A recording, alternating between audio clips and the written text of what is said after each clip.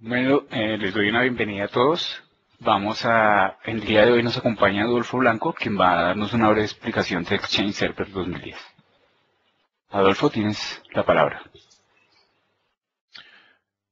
Ok, perfecto Andrés, muchísimas gracias. Bueno, muy buenos días a todos, bienvenidos a esta sesión de arquitectura con Exchange Server 2010. Mi nombre es Adolfo Blanco, vamos a estar aproximadamente una hora eh, viendo varios temas relacionados con la arquitectura de Exchange Server 2010. Vamos a dar inicio de inmediato.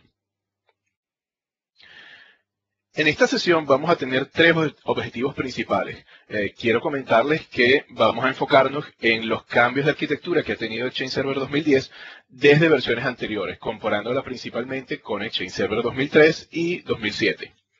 Los tres puntos más importantes que quiero eh, que nos llevemos como mensajes claves al concluir esta presentación son los que vemos en este momento en la pantalla.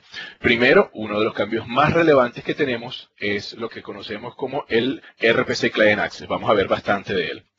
Otro punto importante en la arquitectura que tenemos que notar es cambios eh, importantes que se han realizado en el rol de Mailbox en, en Exchange Server. Y por último, este, voy a presentar un cambio también eh, bastante relevante eh, a partir de Exchange 2007, que lo vamos a conocer con su nombre en inglés, es Shadow Redundancy. Estos son los tres puntos que vamos a mencionar durante toda la sesión. Vamos a iniciar también teniendo una idea general de la arquitectura de Exchange Server 2010. Como ven, esta arquitectura eh, de producto no ha variado mucho con respecto a Exchange 2007. Eh, sí, por supuesto, ha variado bastante con, respecto a versiones anteriores.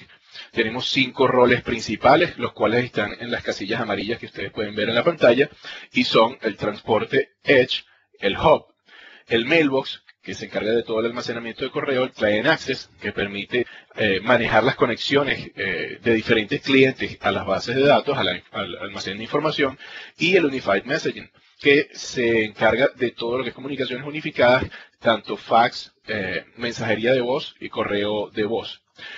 Un punto importante en esta presentación es que vamos a enfocarnos en estos tres roles.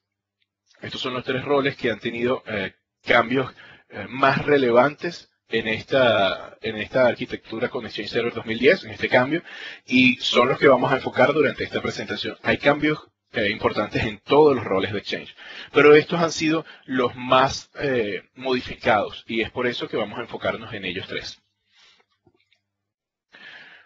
Vamos a empezar con el Client Access. Primero vamos a tener una breve idea de cómo estábamos funcionando previamente con la versión anterior de Exchange, Exchange Server 2007. Este dibujo que vemos aquí es el diagrama de cómo se realizan las conexiones con Exchange 2007. Vemos diferentes componentes de Exchange como el Exchange Web Services, ActiveSync, el Unified Messaging, el Outlook Web Access, los diferentes agentes, etcétera, todos conectándose a través de una capa media, una, capa lógica, un middle tier eh, en Exchange que es el Client Access en Exchange Server 2007. Sin embargo, en la arquitectura de Exchange 2007 vemos claramente que no todos los componentes se conectan a través de la capa media.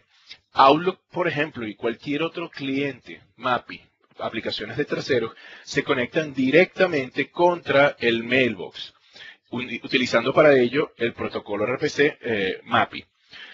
Más aún, el Mailbox también soporta el protocolo WebDAV, que es utilizado por Entourage, es el cliente de Exchange eh, para Mac, y por supuesto cualquier otra aplicación de tercero que utilizara DAV. En general, no todos los clientes se conectan de la misma manera y cada uno utiliza una lógica distinta y funciones distintas. Esta era la arquitectura que teníamos desde versiones anteriores de Exchange y particularmente en Exchange 2007. En Exchange Server 2010 tenemos un cambio muy importante y es lo que más vamos a resaltar en esta presentación. Y es la, introducción de eh, el middle tier, la capa media, como el punto de conexión de todos los tipos de clientes posibles de Exchange. En esta lámina vemos en este momento que Entourage, eh, una aplicación por supuesto que ya, eh, como, sabemos, fue reemplazada con una versión de Outlook para Mac, que está disponible con Office 2011, eh, todavía puede continuar operando, pero a través de, un, update que se debe aplicar pues este, los componentes que él necesita tienen que pasar a través de la capa media. Todos los componentes de Exchange continúan pasando a través de la capa media. Eh, en, ese sentido, este, el diagrama que vemos es muy similar. Donde es diferente y, es más relevante es que ahora Outlook y cualquier otro cliente MAPI eh, que se conecte o que necesite conectarse a las bases de datos, a los buzones de Exchange, obligatoriamente debe pasar a través de la capa media. Esto significa que el protocolo de conexiones MAPI ha sido ubicado en la capa media de la arquitectura de Exchange y los clientes, por tanto, no van a conectarse nunca directamente al mailbox. Esto nos permite que varios de los elementos eh, de lógica de negocios y de acceso a información sean ubicados en la capa media y que, por supuesto, haya uniformidad entre la forma de conexión y diferentes eh, escenarios que se puedan presentar, no importa el tipo de cliente que se esté utilizando con Exchange, ya sea un cliente web, ya sea un cliente móvil, sea Outlook o cualquier otro tipo de producto que necesite acceso a las bases de datos de Exchange. Este es de nuevo, uno de los cambios más relevantes en Exchange Server 2010 y que a partir de, este, eh, pues se presentan la posibilidad de muchas otras eh, funciones adicionales que vamos a ver adelante. Todas ellas habilitadas gracias a esta nueva arquitectura. Este es un cambio, solo para mencionarlo, muy relevante, pues todas las versiones anteriores de Exchange, comenzando desde la primera versión, eh, hace casi ya dos décadas, eh, todas, absolutamente todas, hacían que los clientes se conectaran directamente a las bases de datos. Es la primera vez, primer producto de Exchange que eh, utiliza una capa media para conectar a los clientes. ¿Qué es esta capa media de la que estamos hablando? La capa media ya existe como vimos en Exchange Server 2007 y básicamente se trata de eh, el conocido rol de Client Access Service. Bueno, en Exchange Server 2010 continuamos utilizando Client Access Service, pero tenemos una serie de servicios adicionales que van a correr en este rol que van a permitirnos eh, el cambio de arquitectura que habíamos visto anteriormente. El, el, punto más relevante de notar con respecto a este cambio de arquitectura, otra vez, es que todos los tipos de conexión posibles se realizan ahora a través de esta capa media. O sea que para acceder a las bases de datos tenemos que pasar por él. ¿Qué es lo que maneja esta capa media? ¿Qué es lo que maneja el, el Client Access Service? Específicamente el RPC Client Access Service. Todas las conexiones de Outlook. Todas las conexiones que necesiten acceder buzones cada vez que abrimos Outlook. Outlook ya no se conecta directamente al servidor Mailbox, sino al RPC Client Access Service. También maneja el servicio Address Book. El servicio de Address Book está reemplazando una interfaz de versiones anteriores de Exchange, eh, conocida como el DS Proxy, que existe desde Exchange 2000. Este servicio permitía en versiones anteriores de, Exchange que el cliente de Outlook se conectara directamente a los Global Catalogs del directorio activo, a los catálogos globales del directorio activo, para obtener la información del directorio necesaria, las listas de direcciones, el Global Address List, etc. Esto se hace ahora también a través del Client Access Service eh, el como rol y específicamente el servicio de Address Book. Otra cosa importante también es que, como ustedes saben, eh, desde hace algún tiempo se ha hablado bastante del cambio o de la posibilidad de cambio de las carpetas públicas en Exchange. Las carpetas públicas en Exchange 2010 continúan estando activas, continúan funcionando, eh, pero no han tenido ningún cambio importante desde las primeras versiones de Exchange. Por lo tanto, estas continúan funcionando exactamente de la misma manera como lo han hecho eh, históricamente. Las carpetas públicas, en el caso de que estén siendo utilizadas en Exchange, eh, son opcionales, como sabemos, eh, van a continuar funcionando desde el servidor Mailbox. Cualquier cliente de Outlook que necesite conectarse a una carpeta pública el, el, único caso en el que no se va a conectar a los Client Access Service es cuando necesite acceder a las carpetas públicas. Esto es eh, importante tomarlo en cuenta, pues todavía los clientes de Outlook, solo para el acceso a las carpetas públicas, necesitan conectarse con los mailbox.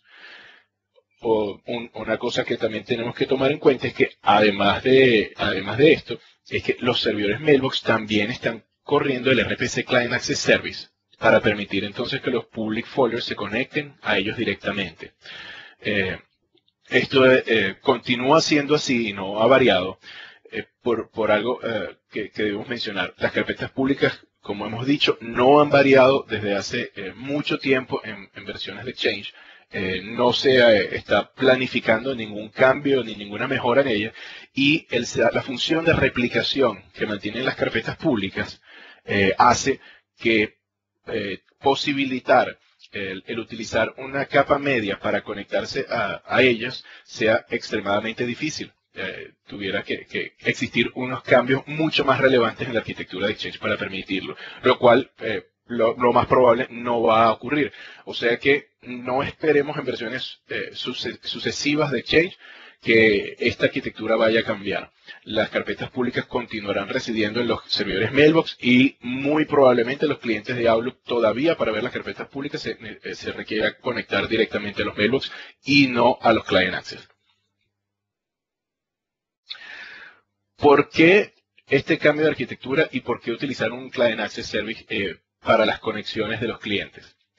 Primero, una de las, funciones que esto habilita es la posibilidad de hacer switchovers y failovers, eh, que son la capacidad que tiene el rol de Mailbox de mantener la base de datos redundante y cambiar la, base de datos activa en un clúster en un momento determinado, ya sea por una falla que pueda ocurrir en cualquiera de ellos o por un cambio programado, un mantenimiento programado y que necesitemos switchar la base de datos activa eh, de un servidor a otro.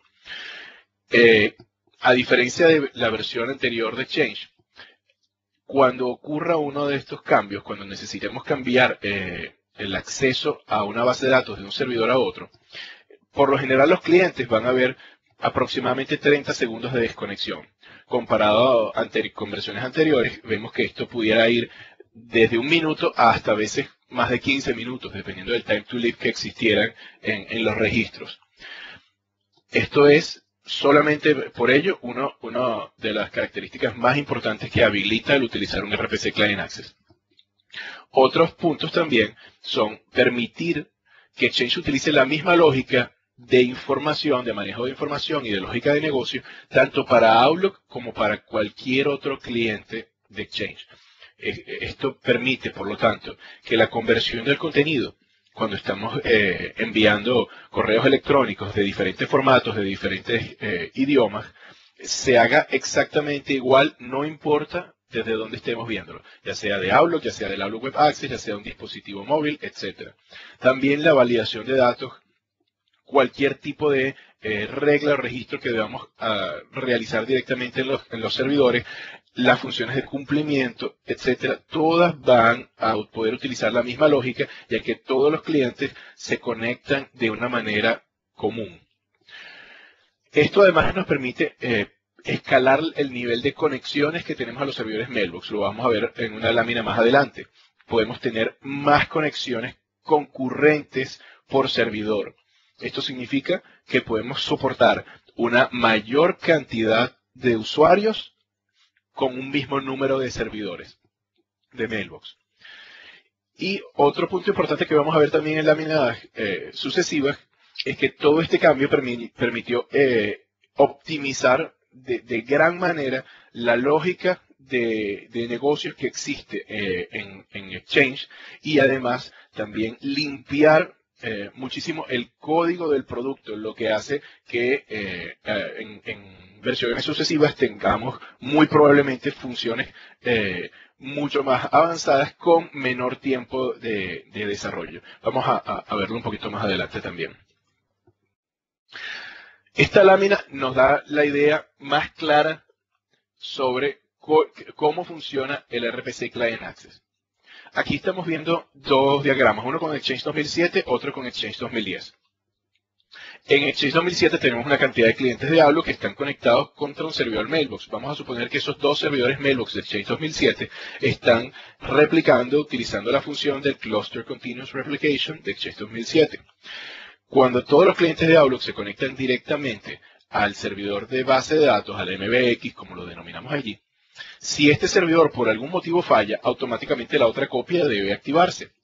Sin embargo, los clientes se van a desconectar y es necesario que se conecten al nuevo servidor utilizando las funciones de clúster de Windows.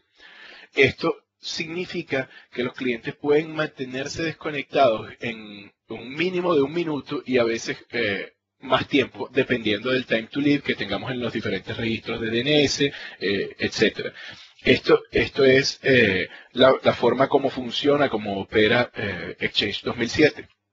Vamos a ver cómo ocurre este mismo cambio en Exchange 2010. Vemos en el dibujo que tenemos un arreglo de servidores de Client Access.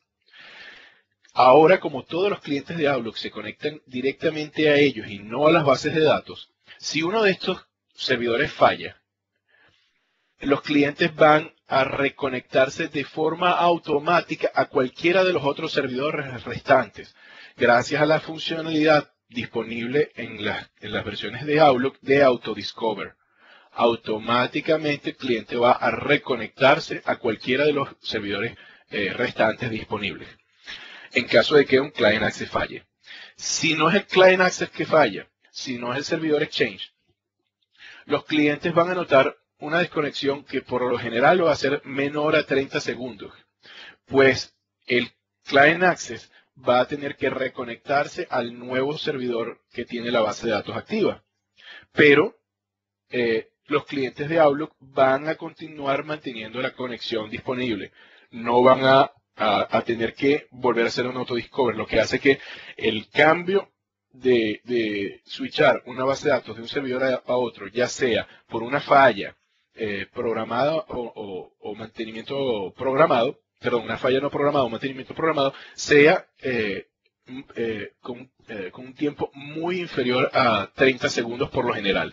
Y lo más común es que los clientes ni siquiera se van a dar cuenta de que esto ha ocurrido la única forma que se den cuenta es que exactamente en el momento en el que ocurre este cambio estén intentando eh, realizar una acción de modificación sobre la base de datos y que probablemente en ese momento se realice localmente sobre su, la, versión caché de Outlook, este cambio se ejecute y en ese periodo de 30 segundos que mencionamos el cliente eh, actualice de nuevo el cambio en la base de datos. O sea, la experiencia del usuario va a ser prácticamente transparente. Otra de las funciones que se habilita con el RPC Client Access es la capacidad de hacer validación de datos y cumplimiento, ya que todas las conexiones se hacen a través de un mismo camino. Vamos a ver en este diagrama que vamos a repetir varias veces cómo un cliente de Outlook va a permitirnos eh, realizar funciones nativas de validación directamente desde el servidor.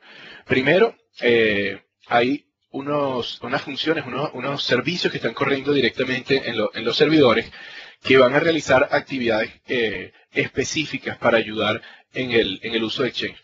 Vamos a nombrar tres de los que tenemos aquí.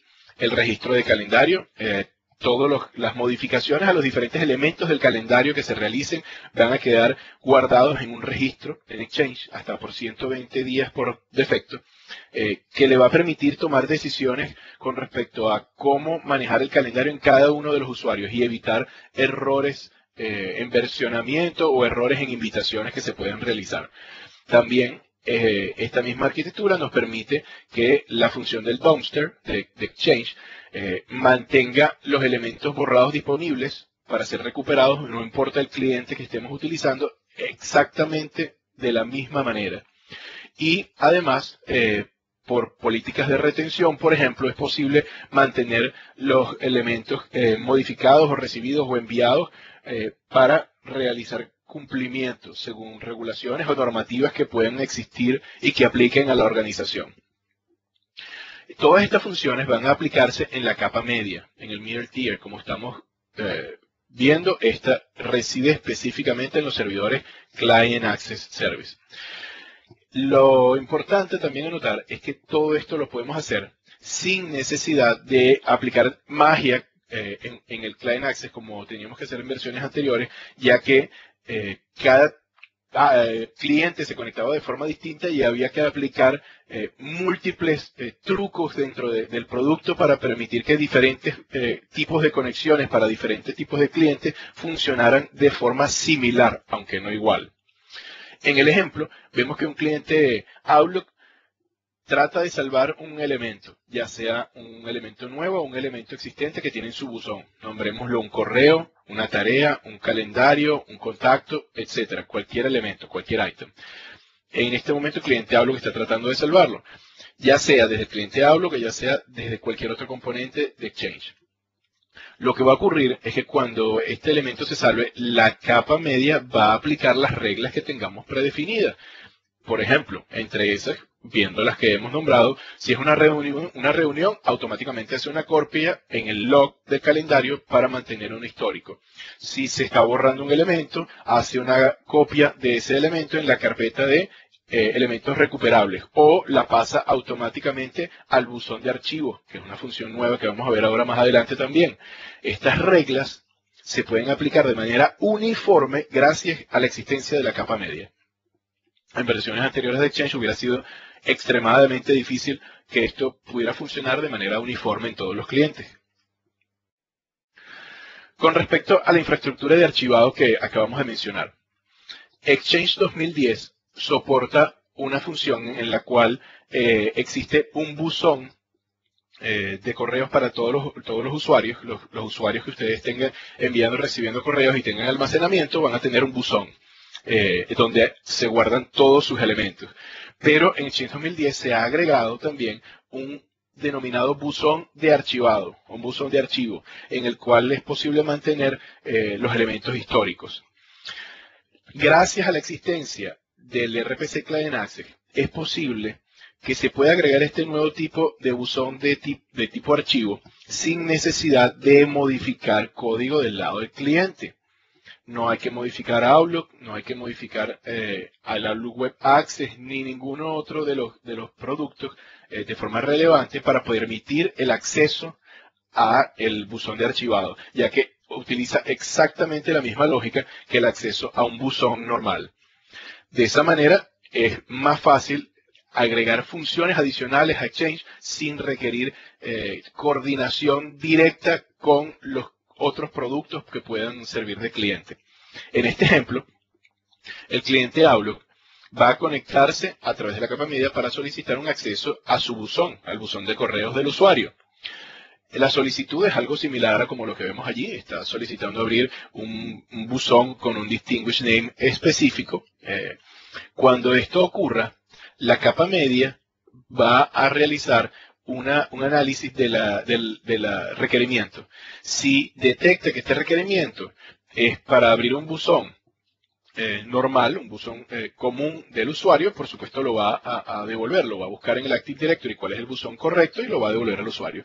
Si detecta que lo que el usuario está tratando de, acceder es un buzón de archivado, entonces va a buscar la cuenta del usuario en el Active Directory y va a, eh, detectar cuál es el buzón de archivado que le corresponde y ese es el que le va a devolver.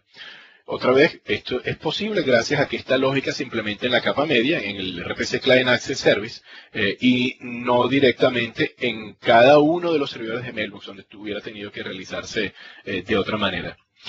Así, el cliente puede obtener directamente el buzón de archivado sin que esto haya implicado una modificación ni a los servicios de Mailbox ni a los servicios de Outlook directamente. Vamos a ver en esta lámina otro ejemplo también importante una de las capacidades añadidas que tenemos al utilizar los, RPC Client Access Service es eh, la posibilidad de mantener mayor número de conexiones por servidor de base de datos. En el ejemplo de Exchange 2007, estamos viendo que por lo general eh, tenemos una conexión eh, igual a una sesión. Cada conexión de Outlook representa una sesión nueva en el servidor Exchange 2007, en el servidor de base de datos. Esto significa que el número de conexiones está limitado a, las conexiones del contexto del protocolo RPC, que son 64.000 conexiones. Por tanto, el máximo teórico posible que pudiéramos manejar son 64.000 conexiones por servidor de base de datos. Por supuesto, este es el límite teórico. Este, estamos, sin embargo, limitados a esta capacidad. Sin embargo, en Exchange 2010 tenemos el arreglo de CAS, donde podemos tener múltiples servidores de, de CAS, de Client Access Service, eh, trabajando como un arreglo. Los clientes de Outlook se van a conectar a ellos. Por lo tanto, una conexión de, un cliente sigue eh, siendo una sesión, sigue siendo exactamente igual. La diferencia es que se van a conectar ahora al arreglo. Y el arreglo, a su vez, va a medir estas conexiones y las va a unificar en 100 conexiones compartidas que van a tener contra el servidor de base de datos. De esta manera, los servidores CAS mantienen conexiones compartidas contra los servidores bases de datos, mientras ellos manejan las conexiones directas con los clientes de Outlook. Esto nos permite eh, manejar hasta 250.000 conexiones por servidor de base de datos, permitiéndonos, por tanto, que cada servidor de base de datos pueda manejar un número mucho más grande de usuarios concurrentes, ya que no es él quien recibe las conexiones directamente, sino que utiliza eh, conexiones compartidas por los diferentes servidores CAS que pueden estar existiendo en un arreglo. Aquí vemos a la final, en el servidor MBX, que una sesión es una sesión de cliente cuando él considera al cliente directamente al eh, arreglo de CAS. Eh, aparte del RPC Client Access Service, tenemos otro servicio importante eh, corriendo en los Client Access y es el Directory Access. Este servicio, este, que existía, eh, ha existido siempre en, Exchange desde la versión 2000, funciona para permitir el acceso al directorio activo y, poder obtener toda la información de configuración y de listas de direcciones eh, desde cliente Outlook o de cualquiera de los otros clientes de Exchange.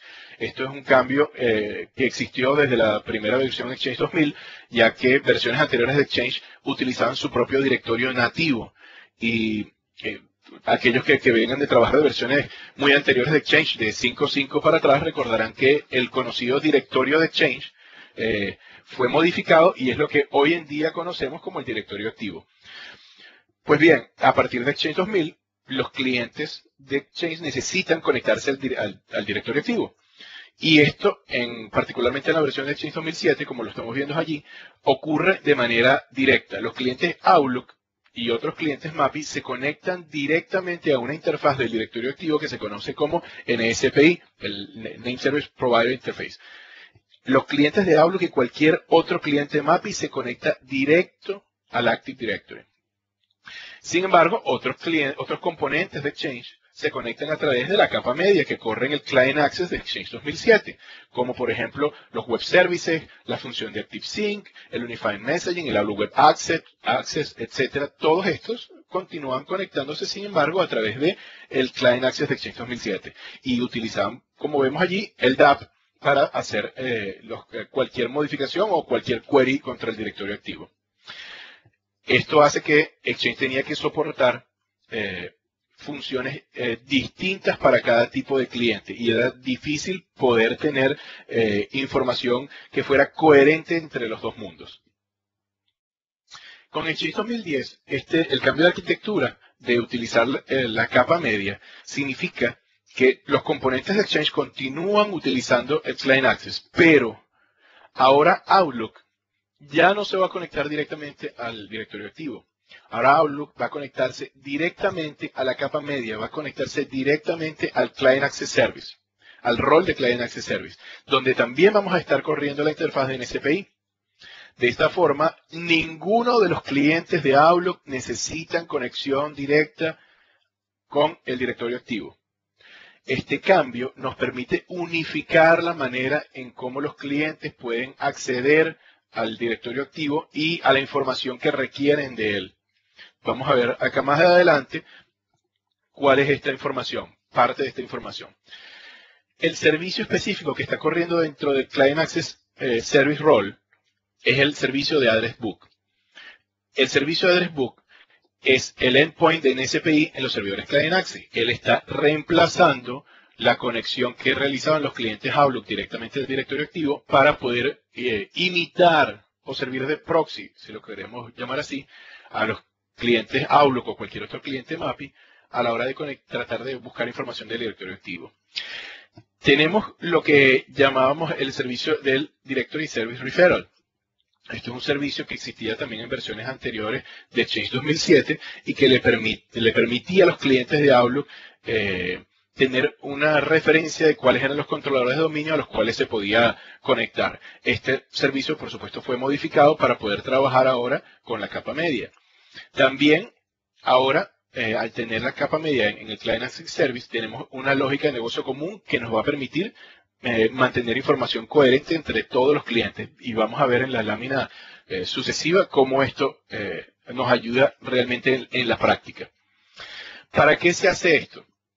Primero, para resolver los problemas que existían con versiones anteriores de Change.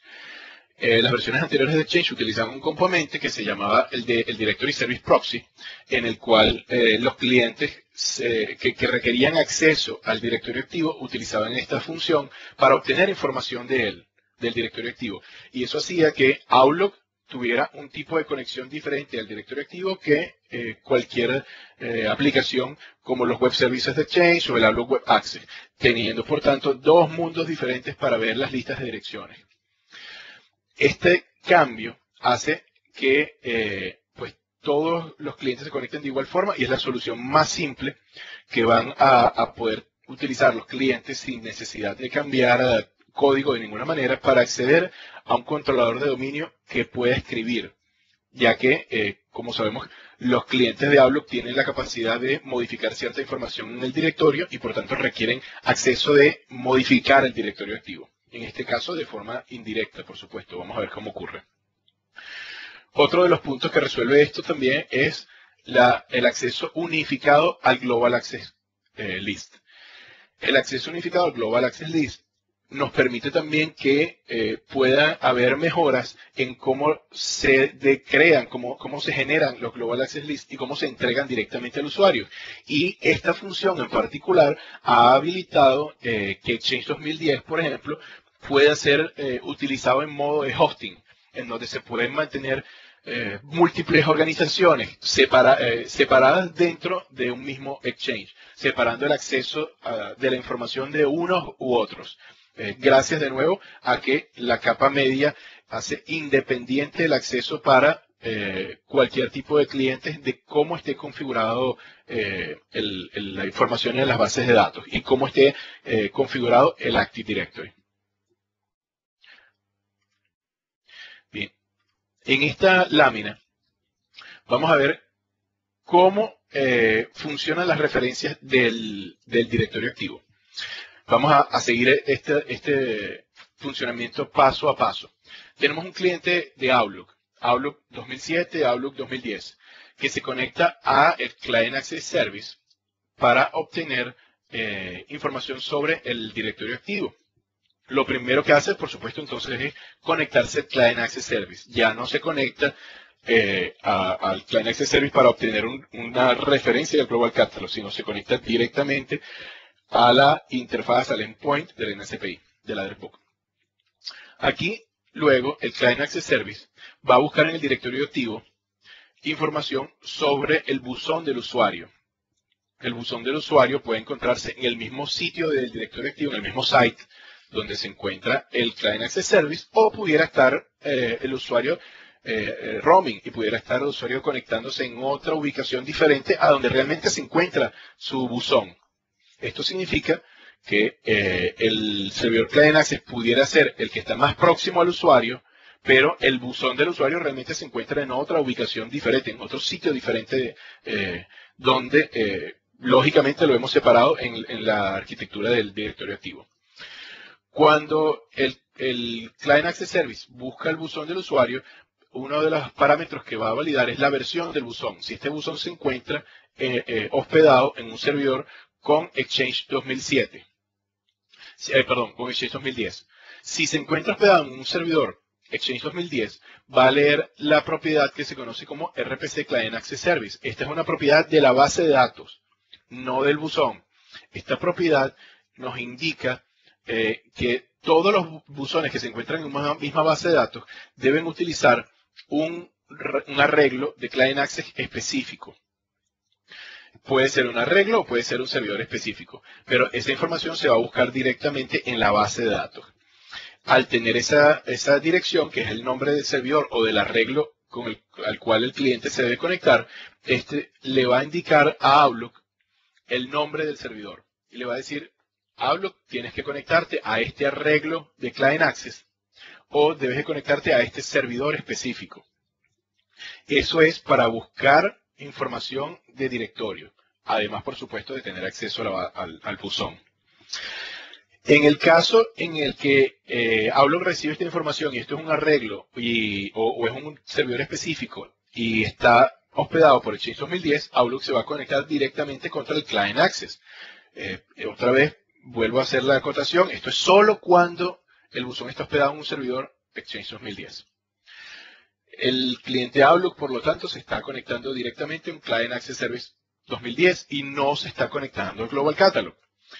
Vamos a ver, sin embargo, que si por algún motivo el buzón se mueve para Exchange 2003, movemos el buzón de vuelta a un servidor Exchange 2003 o 2007 en una organización eh, mixta, donde tenemos múltiples versiones de, de, Exchange ejecutando, el Client Access Service, la próxima vez que el usuario se conecte, lo va a redirigir correctamente para que se conecte directo al Global Catalog, como lo hacía históricamente en versiones anteriores. En este mismo dibujo vemos que el cliente Outlook se está conectando al Client Access Service que le queda más, próximo, pero también pudiera estar conectándose a otro Client Access Service distinto dependiendo de la ubicación donde se encuentre o de la configuración que tengamos en la base de datos. Otro punto importante y que mencionamos hace un minuto, la posibilidad de segmentar las listas globales de direcciones y las listas de direcciones generales. Esta función, habilitada ahora por el Client Access Service, nos permite, entre otras cosas, segmentar grupos de usuarios que están hospedados en los mismos servidores Exchange, en la misma organización, pero que puedan estar perteneciendo a entidades distintas que debamos de tener eh, separadas de forma lógica. Esto era muy difícil realizar en versiones anteriores de Exchange. Versiones anteriores de Exchange, cada cliente cuando se conectaba preparaba el Global Access List de forma diferente, dependiendo si era Outlook o dependiendo si era el Outlook Web Access lo que el usuario utilizaba o si era otro tipo de cliente, por ejemplo WebDAV utilizando eh, El resultado era que teníamos múltiples islas de direcciones. Outlook, por ejemplo, cuando se conectaba a Exchange, en, en, Exchange 2007 y versiones anteriores, utilizaba los permisos que estaban asignados en el directorio activo y la pertenencia del usuario en alguna lista global de direcciones para decidir cuál lista de direcciones debería de, utilizar. Outlook, por lo tanto, a la final dependía eh, de los permisos del Active Directory y dependía de utilizar la GAL que tuviera el mayor tamaño para presentarla al usuario, la lista de direcciones más grande. Esto, por supuesto, eh, podía ser problemático y no era muy flexible. Los componentes del CAS por ejemplo, en Exchange 2007 utilizan el, Global Access List predefinido. Eso significa que si nosotros borrábamos el Global Access List predefinido en Exchange 2007, íbamos a tener problemas con funciones como por ejemplo el Outlook Web Access y algunos comandos del, del, shell de Exchange podían también fallar, ya que dependían del Global Access List por defecto para encontrar la información de las listas de direcciones de los usuarios. Otro problema común es que aun cuando un usuario lo segmentáramos en una lista de direcciones separada de otra, cuando el usuario resolvía nombres para enviar un correo electrónico, utilizaba la lista de direcciones completa, el directorio completo, y no solamente la lista que le fue entregada a él. Por tanto, segmentar a los usuarios era sumamente difícil. Vemos allí, por ejemplo, que para poder preparar un ambiente de segmentación de usuarios con Exchange 2007 teníamos que, entre otras cosas, revisar una documentación de más de 30 páginas con, pasos bastante complejos para poder realizar este tipo de configuración. Otro, otro problema común que existía era con los usuarios ocultos, los buzones ocultos. Cuando teníamos buzones ocultos en Exchange, que no aparecían en las listas de direcciones, bueno, esto nos limitaba a ciertas funciones de Shell o ciertas funciones de la consola, incluso ciertas funciones de Outlook que podían tener problemas porque no eran capaces de encontrar los buzones ocultos. Con Exchange 2010, por supuesto, se buscan corregir todos estos problemas que se corrigen finalmente con el cambio de arquitectura y es tener consistencia entre los clientes. Todos los clientes Outlook, Outlook Web etcétera, todos funcionan exactamente de la misma manera porque la lógica se encuentra en la capa media. Luego, también mantener mayor flexibilidad. Que un usuario esté en una lista de direcciones no significa que eh, esa lista de direcciones le sea asignada por defecto al cliente, cosa que ocurría previamente. Y además también hacer que los usuarios ocultos o los buzones ocultos realmente funcionen correctamente con todas las funciones de Exchange y con todos los clientes de Exchange vamos a ver exactamente en esta lista cómo puede ocurrir eso. Eh, este, este, diagrama pequeño que tenemos aquí creo que es bastante explicativo y nos muestra un ejemplo de una organización que tiene tres listas globales de direcciones. Supongamos una institución educativa que separa una lista global de direcciones donde tiene a todos los alumnos que eh, ya, ya no están dentro de la institución, todos los eh, buzones de las personas que están eh, trabajando en esa organización educativa y todos los estudiantes. Están separados en tres listas distintas que pudieran ser completamente segmentadas de forma independiente y que, eh, en, como decíamos en Exchange 2003, podía ser bastante complejo, pero con Exchange 2010 eh, esto, esto se hace sumamente simple. Vamos a ver que el algoritmo entonces de selección del Global Address List está unificado al pasar esta lógica al Client Access Service y no depender entonces de Outlook o de los componentes de Exchange para decidir cuál es la lista correcta que aplicar. Por ejemplo, Outlook utilizaba eh, y, Exchange utilizaba esta función. Hay una propiedad en, el buzón que se puede asignar que se llama la Query Base Distinguished Name. Esa propiedad cuando se asigna hace que automáticamente un buzón cuando se abre vea directamente una lista de direcciones específicas que nosotros hayamos establecido. Esto funciona con Exchange 2007 y funciona también eh, con Exchange 2010. Sin embargo, en Exchange 2007 eh, también se le validaban los permisos, los Access Control Lists, los permisos, para saber si podía tener acceso o no a una lista de direcciones. Con Exchange 2010, si se establece la propiedad del Query Based Distinguished Name, automáticamente se va a devolver al, usuario la lista de direcciones que haya sido eh, preseleccionada.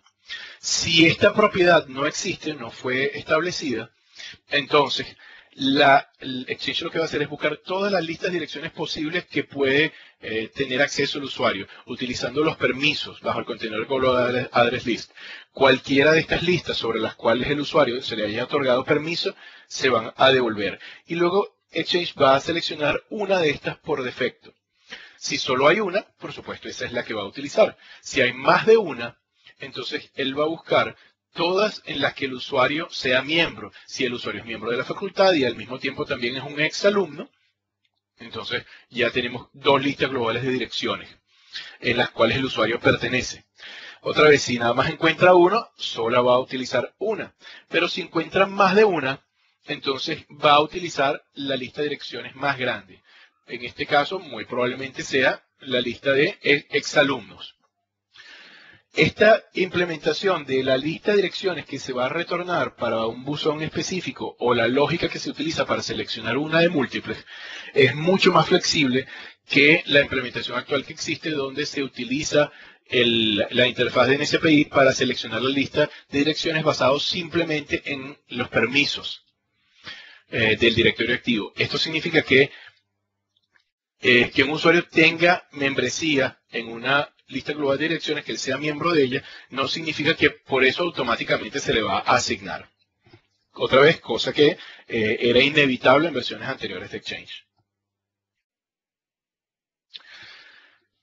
Al usar ahora el Client Access Service, como punto intermedio de conexión para el directorio activo, hace que se presente un, un reto bastante particular y es cómo manejar las escrituras al directorio activo. El Client Access Service, el servicio de Address Book, por supuesto que puede servir de proxy para todas las conexiones contra el directorio activo, pero la mayoría de, los requerimientos de los clientes de Exchange son de lectura. Necesitan obtener información del directorio activo, no grabar información en él. Sin embargo, hay ciertas funciones de ciertos clientes de Exchange que necesitan grabar información en el directorio activo. Por ejemplo, algunas de esas funciones son el cliente de Outlook permite cambiar la membresía en la lista de distribución. Desde Outlook nosotros podemos abrir una lista de distribución y agregar o modificar los usuarios que existen en ella. También es posible manejar los delegados y permitir creación, de, perdón, asignación de delegados nuevos a, a un buzón o a una carpeta específica dentro de Exchange. También es posible que desde, directamente desde Outlook se puedan manejar los certificados digitales y estos certificados digitales son publicados comúnmente en el directorio activo. Así que en escenarios como estos, ¿cómo hacemos que el cliente pueda grabar dentro del directorio activo, ya que no se conecta de forma directa? Bueno, lo que ocurre es que cuando el servicio de Address Book eh, detecta que un cliente está tratando de hacer una modificación en el directorio activo, automáticamente va a llamar al comando apropiado del shell de Exchange. El comando apropiado se utiliza para guardar información en el directorio activo. Por ejemplo, entre estos tres ejemplos se utilizarían los comandos como agregar o eliminar un distribution group member. Es uno de los comandos del shell. Otro comando es set mailbox con un parámetro que se llama public delegates. Luego otro comando sería set mailbox user certificate y pasarle el certificado que está tratando de guardarse. Estos son comandos nativos de, Exchange, de la, del shell de Exchange, de la, de, la, de herramienta de comandos de Exchange. Al, al utilizar estos comandos, el servicio de Address Book se basa automáticamente en la asignación de permisos basados en roles que existe en Exchange. De esa forma, automáticamente se están validando los permisos del usuario para estar seguro si tiene posibilidad o no de realizar esa modificación.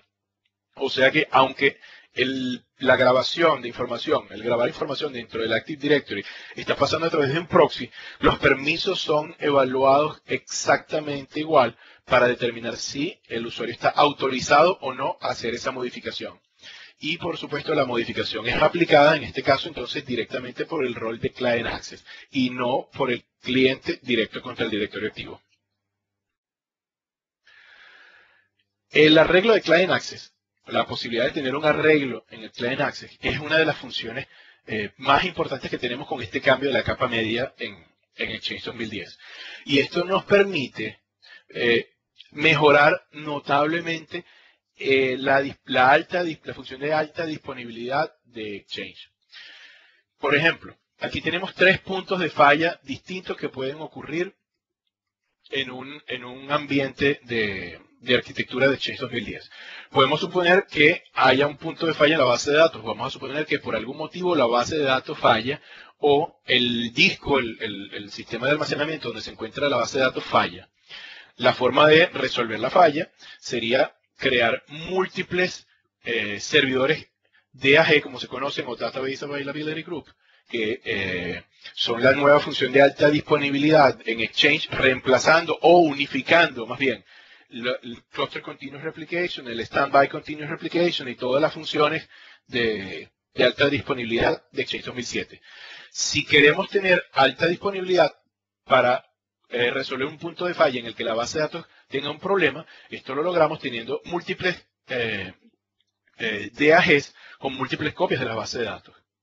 Si lo que queremos es resolver un problema de disponibilidad que pudiera ocurrir con la falla de un servidor y no ahora del almacenamiento o de una base de datos específica, entonces lo que tenemos que asegurarnos es de tener este, estos DAGs en múltiples servidores y no en uno solo. Otra opción adicional es cómo resolver el caso en el que un servidor CAS falle.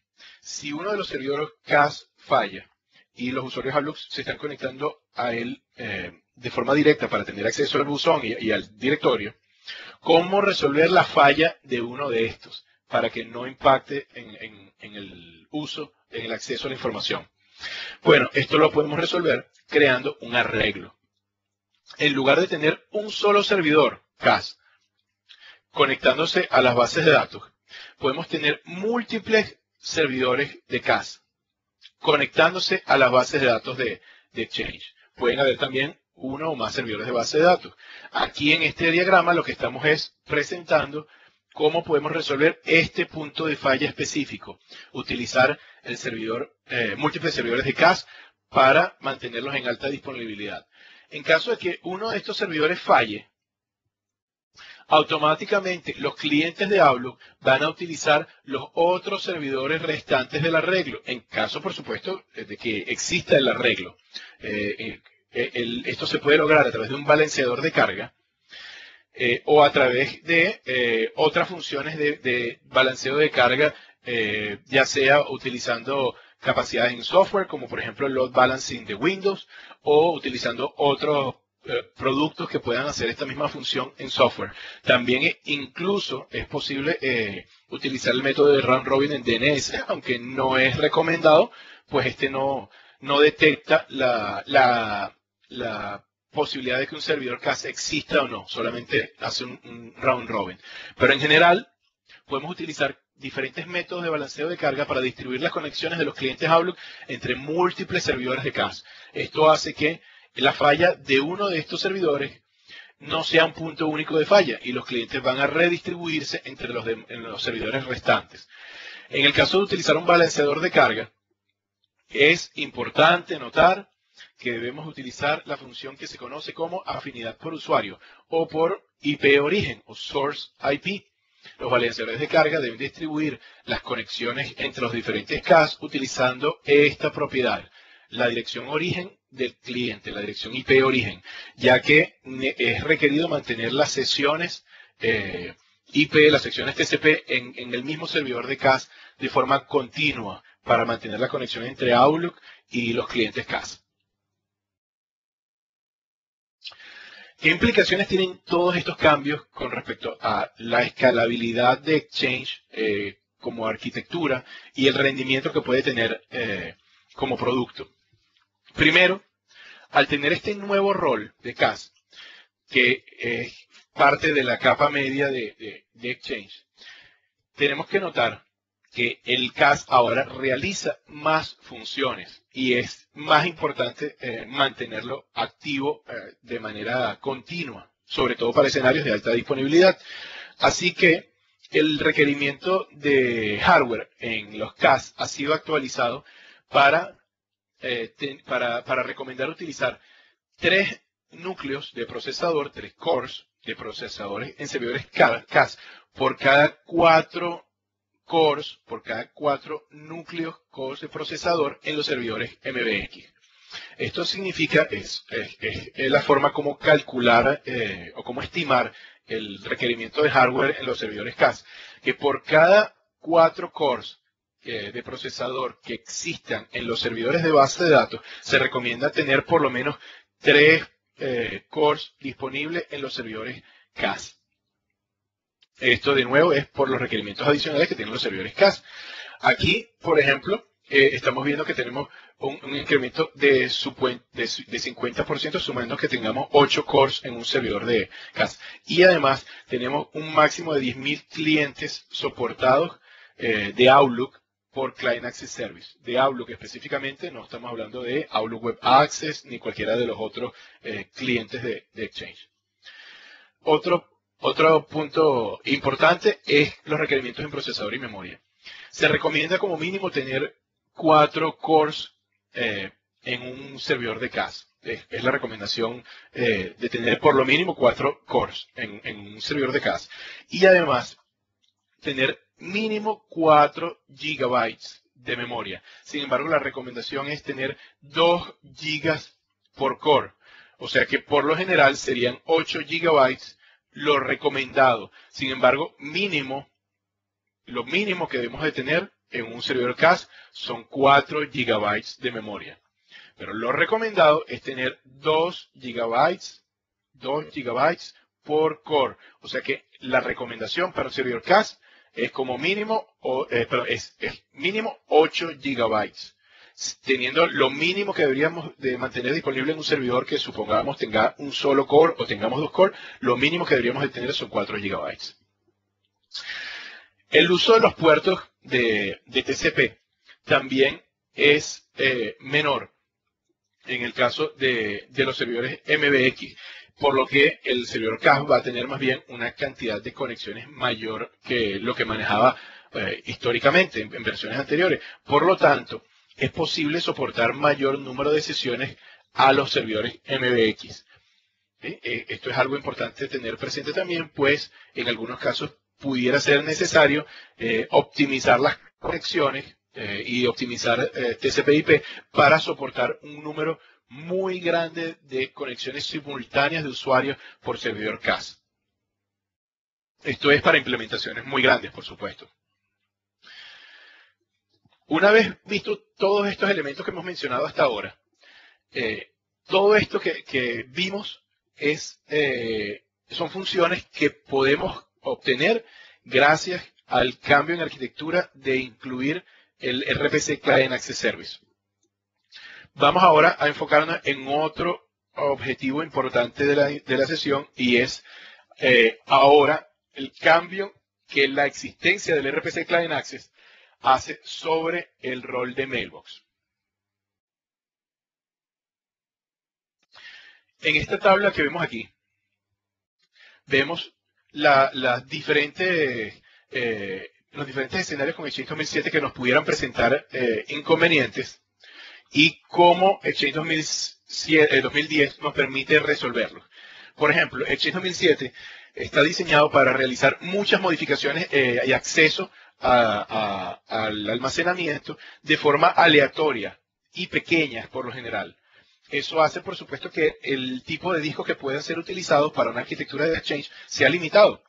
Con Exchange Server 2010, sin embargo, se optimizó el, el Extensible Storage Engine, lo que se llama GS, para eh, que el acceso al, al, al storage, al almacenamiento, sea de forma más secuencial, de forma más predecible y con menor cantidad de modificaciones más grandes.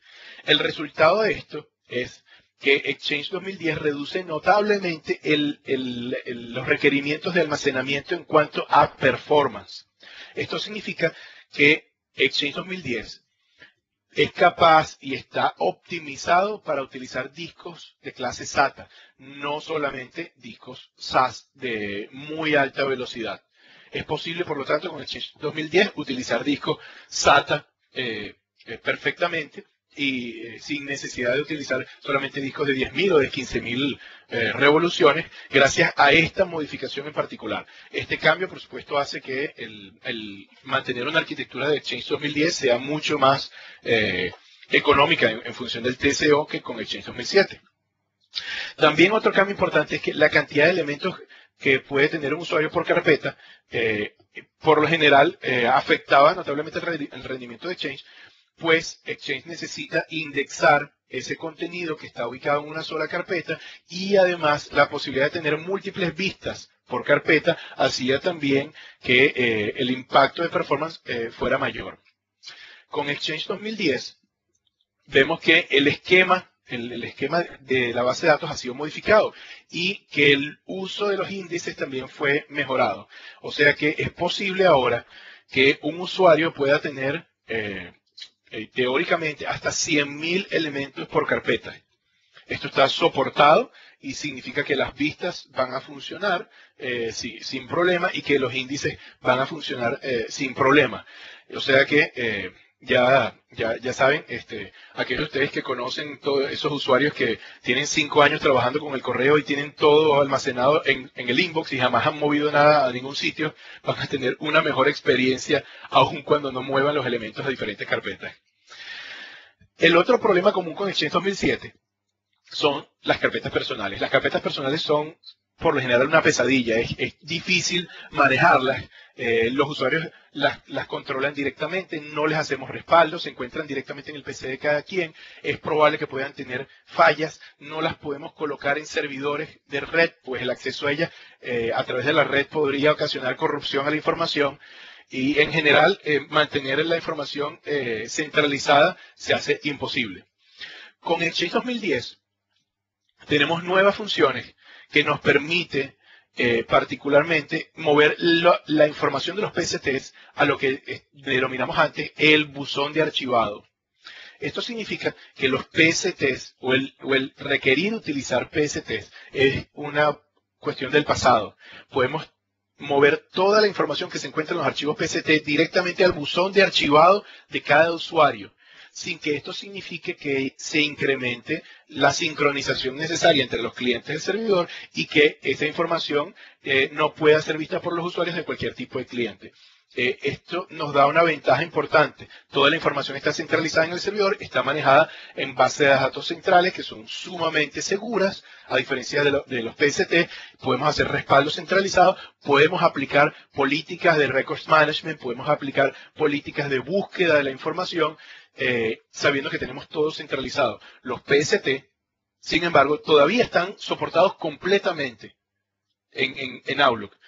Pero esto es opcional. Ustedes pueden decidir que su estrategia para archivar información es utilizar PSTs o pueden decidir que su estrategia para archivar información es utilizar los buzones de archivo en Exchange 2010, lo cual, de nuevo, les serviría eh, eh, muchísimo para tener mayor control de la información y menos problemas eh, en la administración de la misma.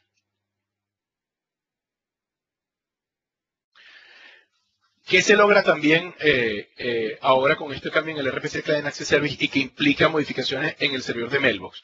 Al mover la lógica de negocio al RPC Client Access, ahora el servidor Exchange 2010 eh, utiliza funciones en el Mailbox mucho más simples.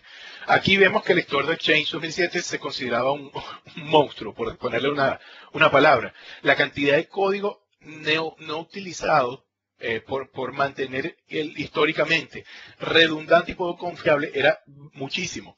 Había demasiada lógica de negocio que era necesario aplicar por tipo de cliente que se conectara al mailbox. Si se conecta un tipo de cliente con Outlook, de diferentes versiones de Outlook, con el, con, uh, el Outlook Web Access, con diferentes versiones del Outlook Web Access, con los clientes MAPI eh, directos, con los clientes WebDAV, etcétera, pues era muy difícil mantener todo ese código en el 2007, lo que hacía que eh, pues de nuevo, eh, se considerará un monstruo, es sumamente complejo.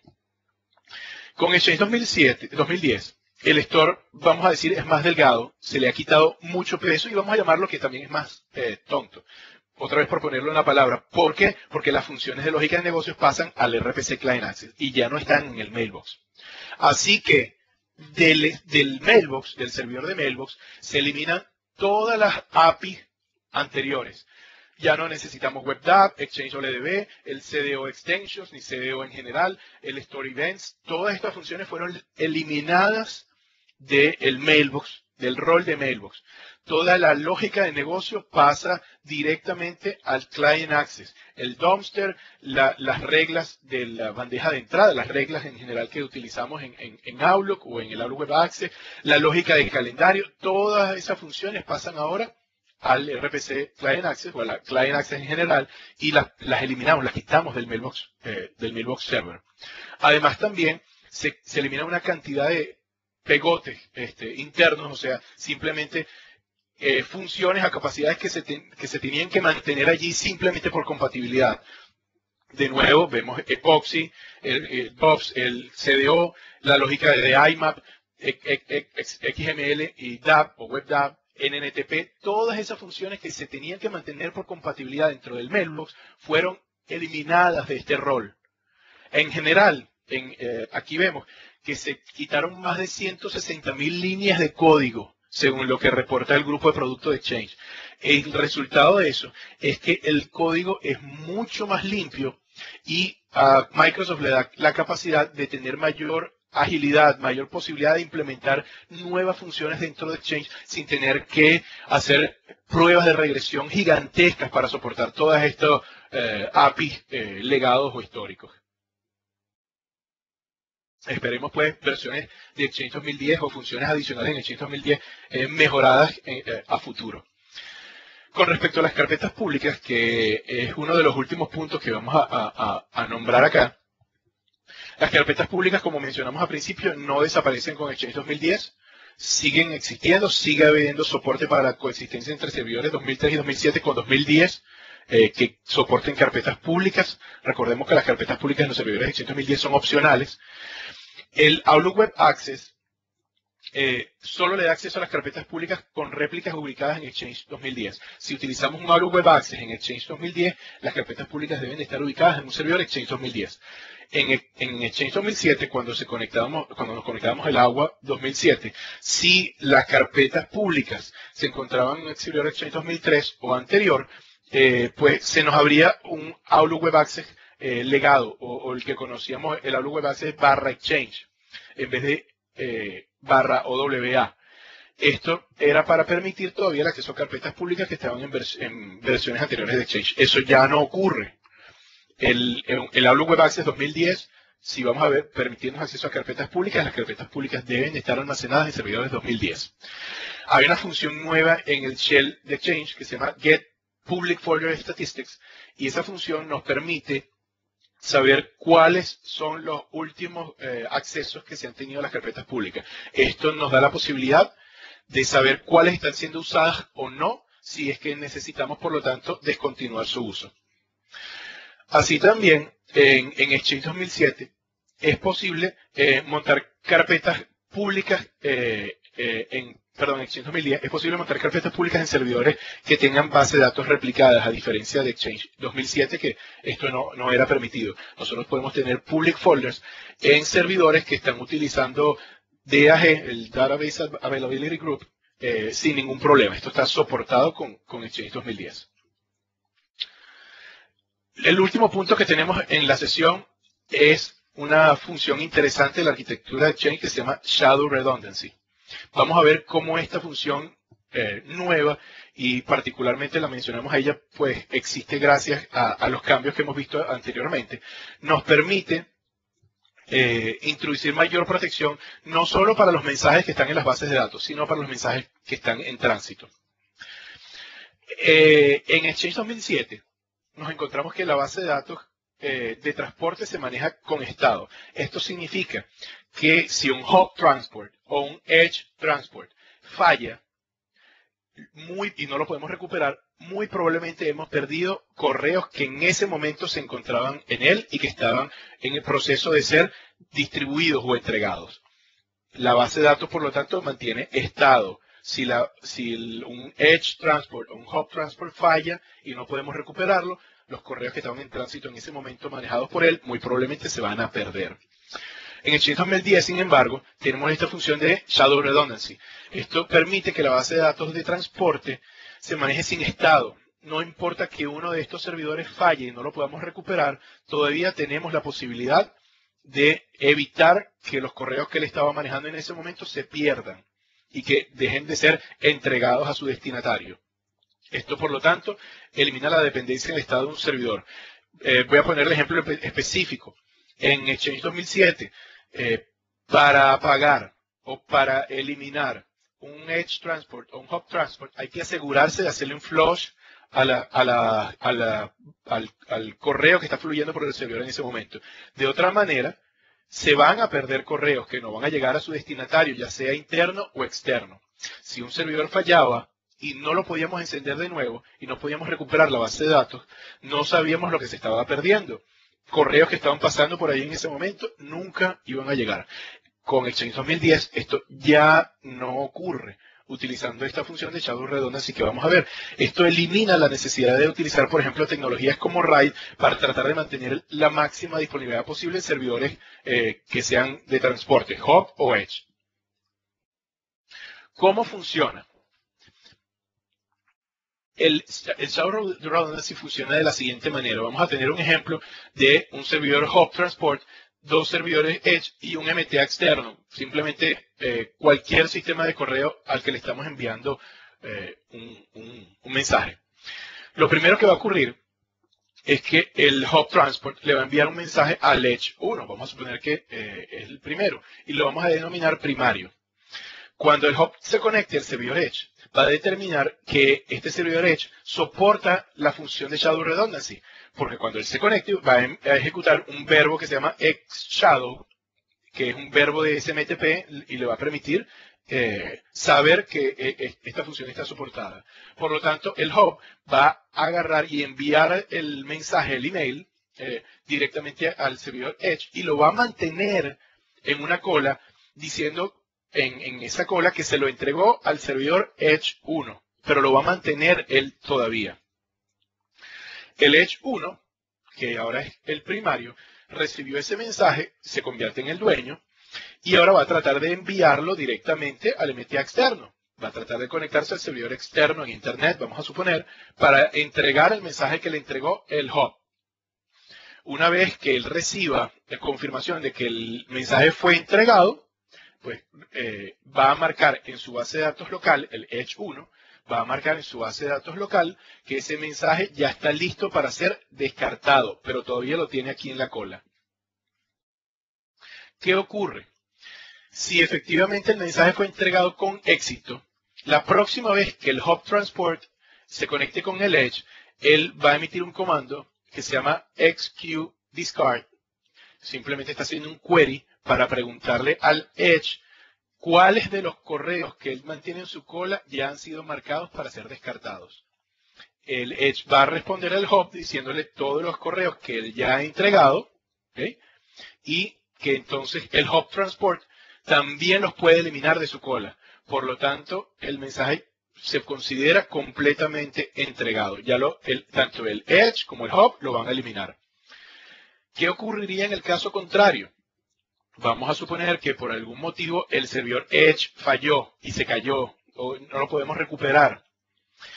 El hub transport, por lo tanto, trata de conectarse al edge, la conexión falla y al no poder conectarse a él, entonces va a conectarse a otro servidor Edge para, por tanto, reenviar el mensaje otra vez. Al reenviar el mensaje, que todavía estaba en la cola del hub y que nunca había sido marcado como entregado, el Edge 2 va a poder de nuevo realizar el proceso de envío.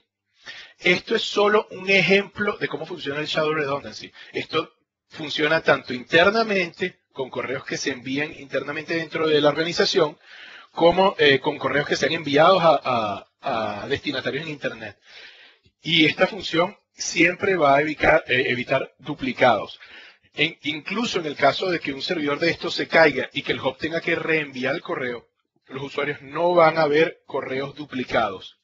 Eh, hay un solo escenario particular donde pudiera existir un correo duplicado eh, con usuarios en Internet y como siempre es preferible que, ocurra un correo duplicado en el caso que se caiga un servidor a que el destinatario nunca reciba el, el correo en primera instancia. El Shadow Redundancy, entonces, quiero cerrar otra vez enfatizando, es solo un ejemplo como lo vemos aquí utilizando el Hub y los servidores Edge, esto funciona exactamente de la, misma manera cuando tenemos múltiples servidores internos dentro de la organización que se están enviando mensajes entre ellos. Funciona exactamente igual. Así que los mensajes que están, están protegidos en tránsito, tanto internamente como aquellos que vayan hacia Internet. Otra vez, este es otro de los cambios de arquitectura importantes que tenemos en Exchange 2010 eh, y que nos ayuda a tener la máxima disponibilidad posible del servicio, aun cuando tengamos una falla en cualquiera de los componentes. Resumiendo, vemos que tenemos un RPC Client Access Service, que es parte de la arquitectura eh, modificada con, Exchange 2010. Tenemos también un, un rol de mailbox eh, mucho más simple, más ligero, eh, eliminando muchas de las funciones que tenían que, mantener, eh, que mantenerse legadas y que es posible eh, que este servidor pueda utilizar discos de, menor costo para almacenar la información. Y tenemos un Hub Transport que nos permite redundancia de la información que está siendo enviada y que está por entregar, de forma que una falla en uno de ellos no va a implicar pérdida de la, de la información. Hemos visto funciones que han eh, mejorado en la arquitectura de Exchange en el caso de cada uno de estos tres roles principales. todas las organizaciones Exchange necesitan por lo mínimo un rol eh, de cada uno de, estos. Son los tres roles principales, no son, de los cuales no, son opcionales. Bueno, eh, viendo todo esto, vamos a dar un espacio de tiempo para que podamos manejar cualquier pregunta que ustedes puedan tener. Creo que nos encontramos todavía dentro del tiempo. Quiero darles muchas gracias por su participación y por haber estado aquí